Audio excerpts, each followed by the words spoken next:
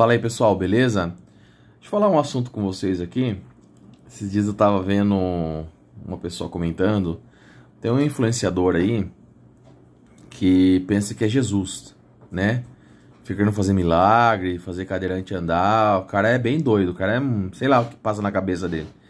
Eu acho que tem aquelas pessoas que ficam cultu cultuando ele ali, ele fica pensando que ele vai, vai mudar o mundo, né? E tem aquele, aquele assunto de você tomar banho gelado. Tome banho gelado, arrume sua cama, acorde cedo, né?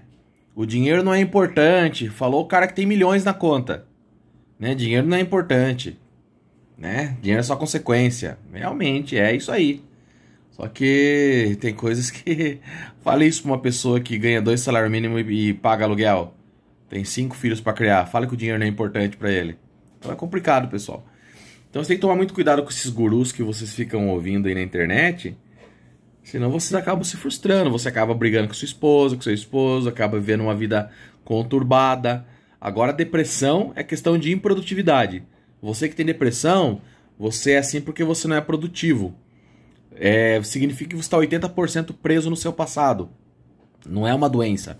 Algo que precisa de, um, de, uma, de um acompanhamento né, de um profissional ali.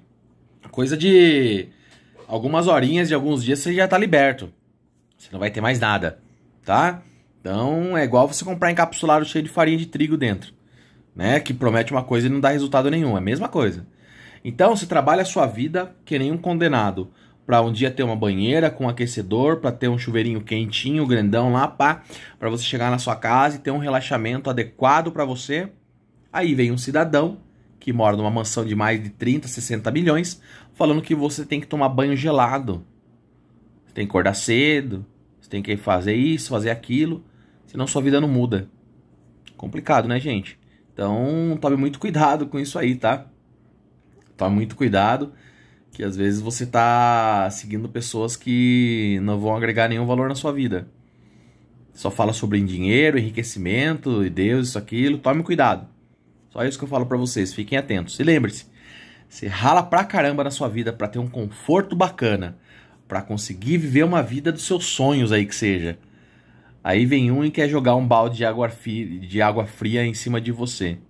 Então tomem cuidado com isso aí, fechou?